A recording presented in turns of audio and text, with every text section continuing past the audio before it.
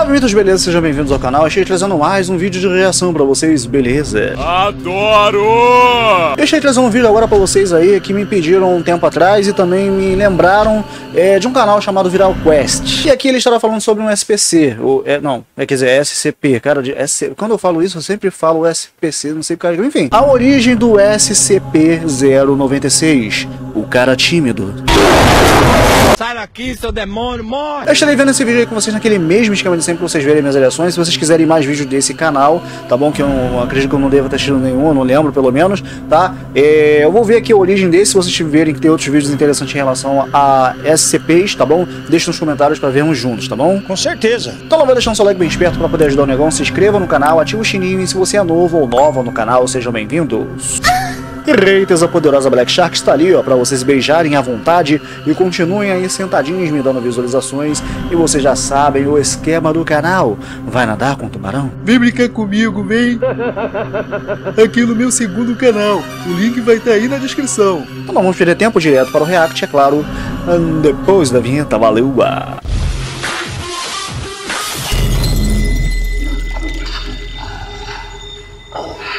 Alexandre na área. Vamos lá. Looking to darkness do... Vamos lá, virar o quest. Informações tiradas do canal SCP Exploration. Link na descrição. Olá, amante do terror. Hoje nós iremos falar de uma criatura quase invencível e uma das mais perigosas dentro da fundação. Coisa horrorosa. SCP-096. O cara tímido. Ah, Lembrando que isso é um remake de um vídeo antigo do SCP-096 que eu já fiz aqui no canal, só que apenas abordando o que ele é. Só que neste vídeo de hoje, eu iria abordar a origem do SCP-096.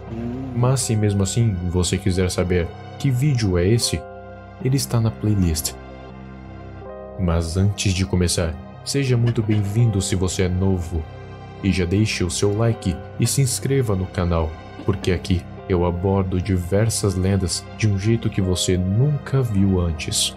E se inscrevendo e ativando o sininho, você pode escolher qual lenda eu vou zerão, falar rapaz. votando nas enquetes na comunidade. Eu garanto que você não se arrependerá. Agora, Ah, fique com o vídeo. quem é? Apenas não olhe. Ok. Eu vou assumir que todos vocês já saibam quem é o SCP-096. Mas mesmo assim, eu vou dar uma breve resumida. SCP-096 é uma criatura humanoide de 2,38 metros de altura. Tem braços anormalmente compridos, garras no lugar dos dedos, sem nenhum tipo de cabelo, e a sua mandíbula abre cerca de quatro vezes mais do que a de um ser humano. É esguio e os seus olhos são brancos. Ele geralmente é dócil, apenas fica olhando para a parede o tempo inteiro. Mas ele é famoso por uma razão. Sempre que alguém olha o seu rosto, de qualquer modo, seja pessoalmente, por vídeo ou até por foto, vai acontecer algo impossível.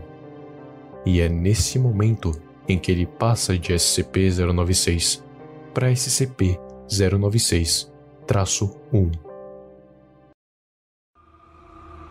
Oxi, como é que eu vou fazer aqui então, cara? Você não pode olhar nem pra ele através de vídeo, gente. Que- Peraí, ah, já sei o que eu vou fazer. Agora sim, quero ver tu aparecer aqui, seu filho da mãe. Quero ver, meu. Quero ver você brincar com as paradas do negão agora. Mano, tu é um guerreiro. Eu, hein? Pô, é essa, meu irmão? Tá maluco? Garai. No momento que alguém vê o rosto do SCP-096. Tem que ler devagar, que senão fala SPC de novo. É o momento.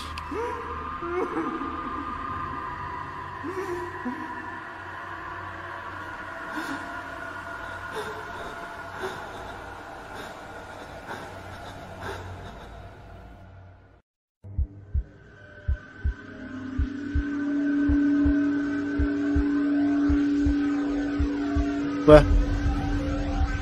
Livros.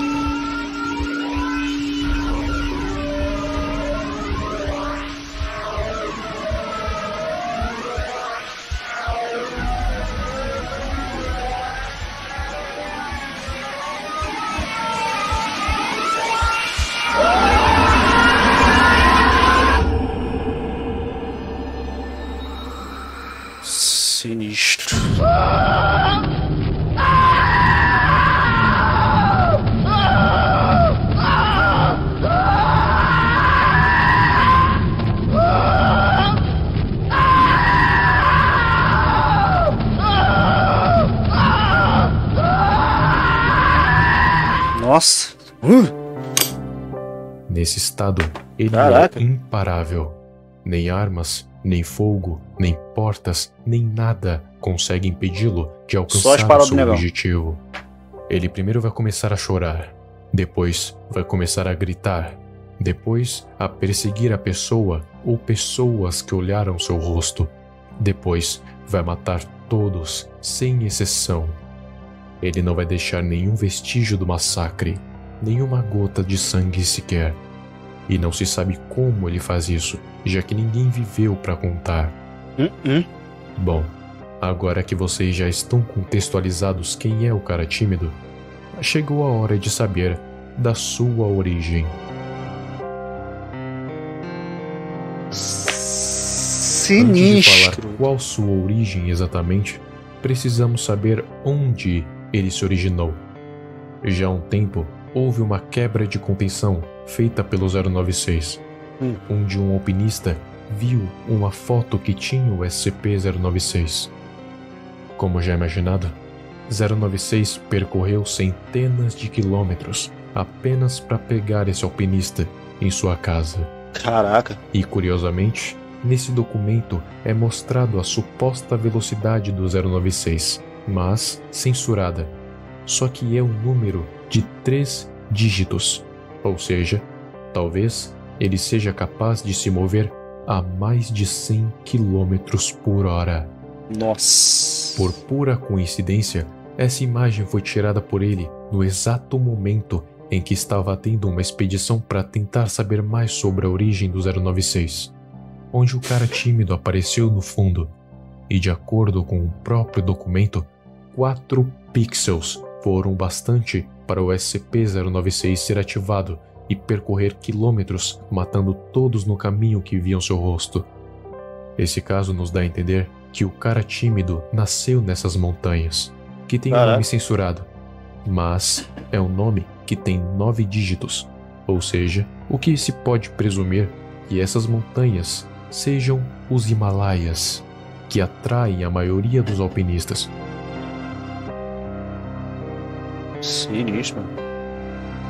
Agora sabemos que ele se originou nos Himalaias, mas agora vamos saber como ele ganhou essa aparência e esses poderes bizarros. Mas para isso, primeiro temos que abordar um outro SCP, o SCP-1529. 1529 é um ser que tem a aparência humana, só que sempre é visto no Monte Everest com uma roupa de alpinista. Seu rosto ou corpo nunca foram vistos. Ele pode ficar no estado ativo ou inativo. Quando está inativo, ele tende a não aparecer em lugar algum da montanha. É como se desaparecesse. Já quando está ativo, ele escala o monte apenas com as mãos e pés, sem qualquer outra ferramenta, e não tem qualquer padrão para ele estar ativo ou inativo.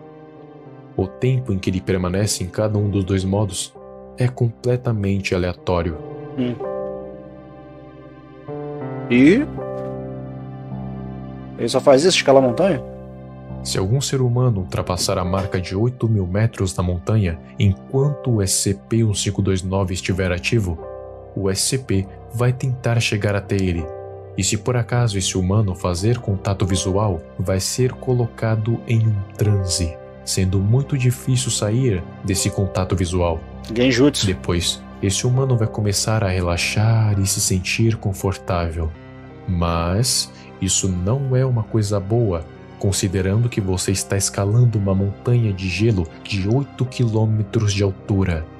Nossa. Quando isso acontece, o alpinista vai ser induzido a relaxar, soltar a corda e rolar montanha abaixo. Se ele não morrer pela queda, vai morrer de hipotermia depois de uma ou duas horas. Um caso curioso foi de George Mallory, um alpinista que foi hipnotizado e ficou inconsciente. E sabe quanto tempo ele ficou lá até ser encontrado morto? Dois dias. O que seria literalmente impossível considerando o frio congelante daquela montanha, o que nos leva a assumir que SCP-1529 é capaz de prolongar a vida de alguém apenas para aumentar a tortura. Uau. Bom, sabendo de tudo isso, podemos voltar ao SCP-096. Já sabemos que ele se originou no Himalaia, que abriga o Monte Everest. Então podemos assumir que ele já foi um alpinista, que infelizmente se encontrou com o 529 ao escalar essa montanha. Ah. Ele conseguiu sair do transe, mas ficou sendo perseguido pelo 529. Então, para não ser pego pela hipnose novamente, toda vez que esse alpinista visse o SCP-1529, ele ia entrar em um modo agressivo e iria o atacar ferozmente.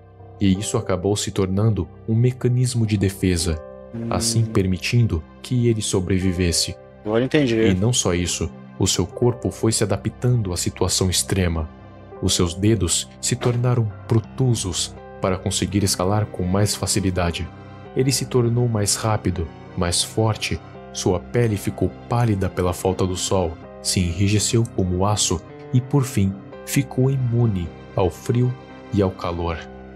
Tudo isso combinado com a habilidade do SCP-1529 de aumentar a sua vida, para assim fazê-lo sofrer mais. Toda essa situação durou por 60 anos, até a Fundação finalmente encontrar o ex-alpinista, agora completamente louco, movido apenas pelo instinto de sobrevivência, se tornando o SCP-096 que conhecemos. Sinistro.